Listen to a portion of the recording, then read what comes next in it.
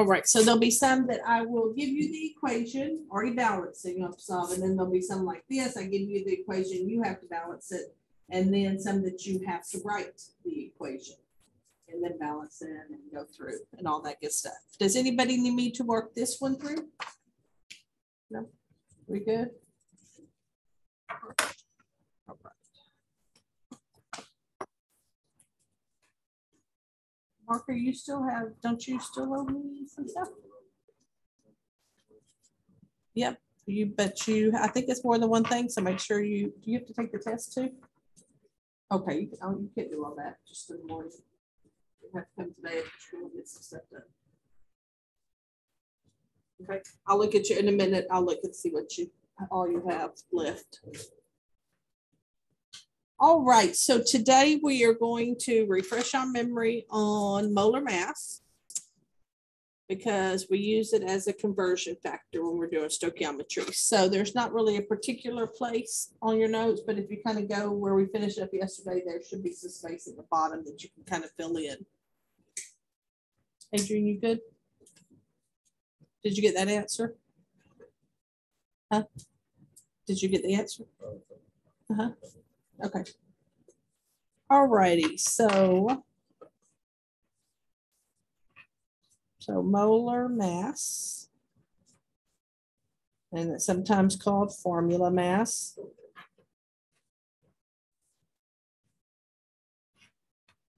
Is the total mass of all the atoms in a compound or element. It may, because it may not be a compound, it may just be an element. And remember, you are going to be taking your numbers off the periodic table and you need to round them to two places past the decimal. And then when you add them all up, that also needs to be two places past the decimal.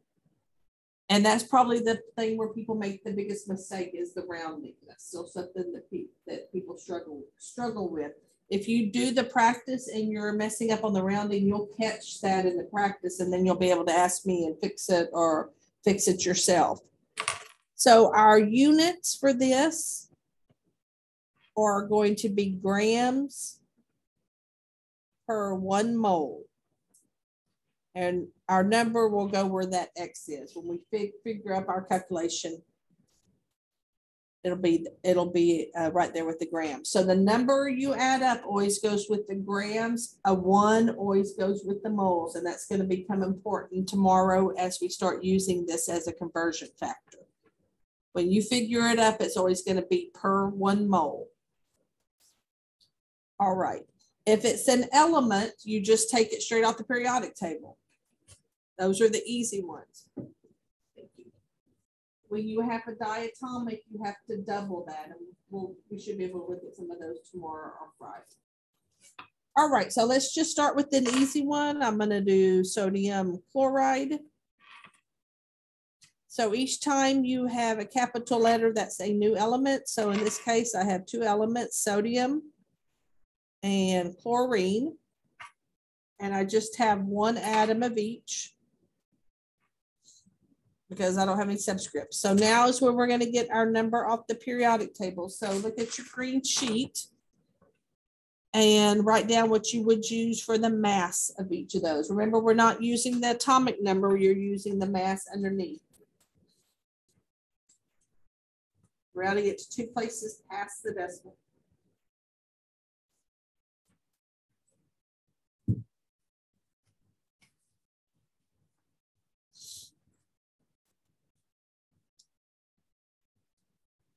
So Adrian, look on your green periodic table and get the mass for those two elements.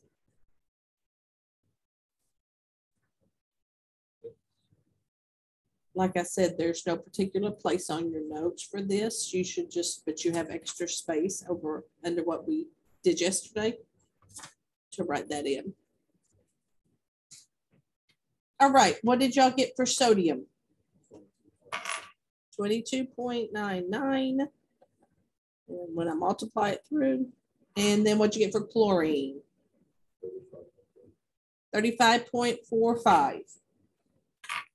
Same thing, I'm gonna multiply it through, and then I just simply add them up.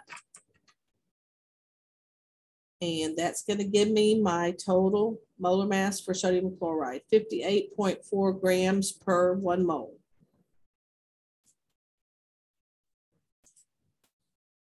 So sometimes you may have the formula, sometimes I may just give you the name. So we'll look at one more that has a little bit more.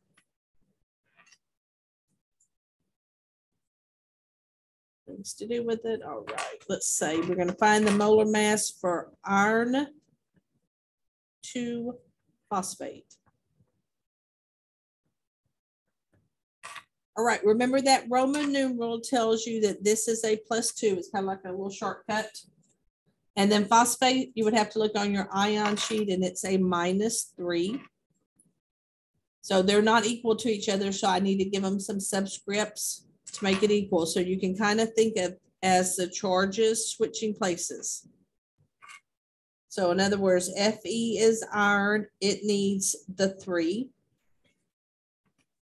Phosphate is PO4, I need to put it in parentheses, and it's the one that needs the two.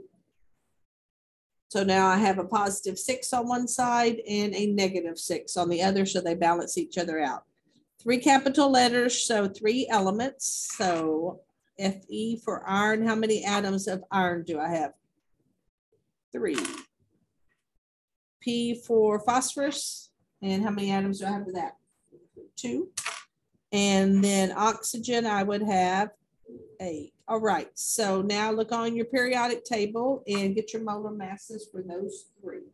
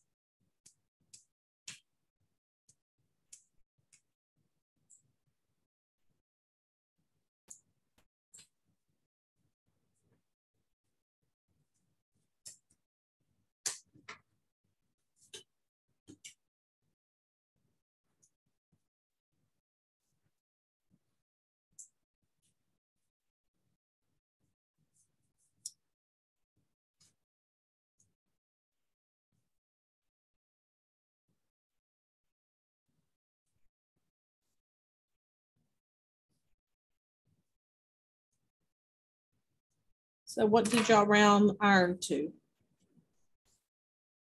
Fifty-five point eight five.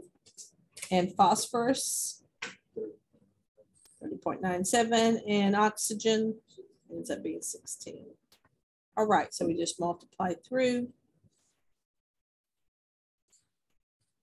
And here I had sixty-one point nine four, and lastly, one twenty-eight add that all up together and I got three fifty-seven point four nine grams per one mole. That what y'all got also? All right. Y'all remember when we did this earlier this year?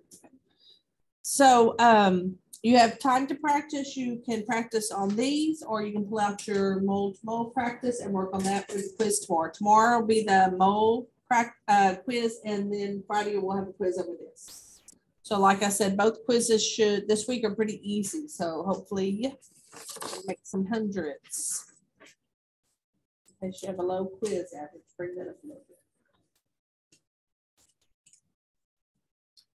If y'all have any questions, let me know. If you have a question, probably somebody else has that same question.